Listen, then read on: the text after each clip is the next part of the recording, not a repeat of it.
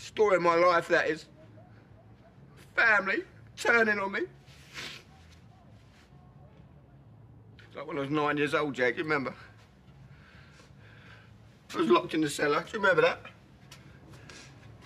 All alone, in the dark, like to sit there and listen to you, Mum and Dad, all the family sitting upstairs watching TV. What, having your dinner? Having a laugh?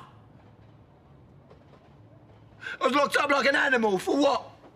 I'll tell you for what, because I answered Dad back, because he gave me a slap. He done worse. Done a lot worse. That's it. That's the story of my life, that is. Abandoned. That's why I done it, Lauren. That's exactly why I done it. That's exactly why everyone's got to pay. Why they've got to pay! I don't ever want to see you again. It's about me. This is about me. Because I'm the wrong one!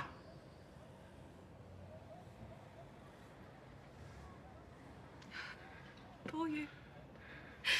Poor Max. You know what? You can stay here and wallow. Because you are not a father. You are pathetic!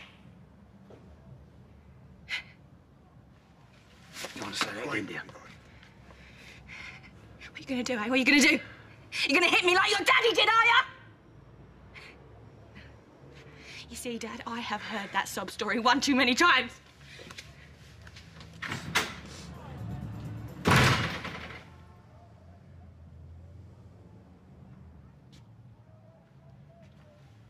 No, Dad, don't have that, all right? Why don't you just sit down and I'll get you some water? She didn't mean what she said. And you didn't mean what you said, and it will all be okay, I promise. I, I just know it will be. Look, do you remember when I was little and I used to sneak into your room and we'd have our private little chats? Me and you, we'd talk for hours. We ain't done that in years. Of there, Abi. Dad, you don't... Get out of there, you. Not my little girl anymore. Just a slapper up the duff. Disgusting. No, Dad, this is your grandchild. Look, you... Get that bill, brat! That thing in your stomach and get out of here! Go! Abi. Abi.